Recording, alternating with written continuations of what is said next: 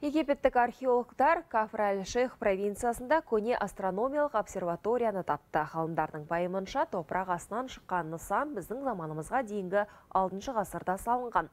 Өнделмеген кірпіштен қаланған ғылыми мекеме жергілікті ғибадатханалардың бірінде орналасқан көрінеді. Оның ішінен күн сағаты, өлшеу құралдар секілді түрлі жәдігерлер табылған.